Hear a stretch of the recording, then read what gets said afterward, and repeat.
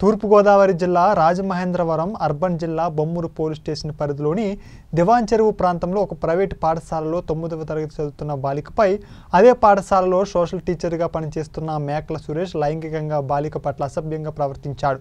దీంతో తీవ్ర భయాందోళనకు గురైన బాలిక తన తల్లిదండ్రులకు విషయం చెప్పడంతో బాలిక తల్లిదండ్రులు బొమ్మూరు పోలీస్ స్టేషన్లో ఫిర్యాదు చేశారు. కేసు నమోదు చేసుకున్న పోలీసులు అజ్ఞాతంలోకి వెళ్ళిన ఉపాధ్యాయుడు మేకల సురేష్ కోసం గాలింపు చర్యలు చేపట్టారు. అందరికీ నమస్కారం అండి. నేను రాజమహేంద్రవరం బొమ్మూరు పోలీస్ స్టేషన్ ఎస్ఐగా పనిచేస్తున్నాను. నా పేరు జగన్మోహన్ రావు.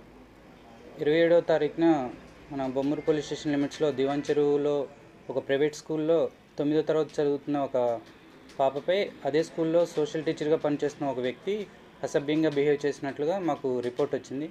దానిపై వెంటనే మేము కేసు రిజిస్టర్ చేసి పూర్తిగా పూర్తి స్థాయిలో విచారించడం జరిగింది.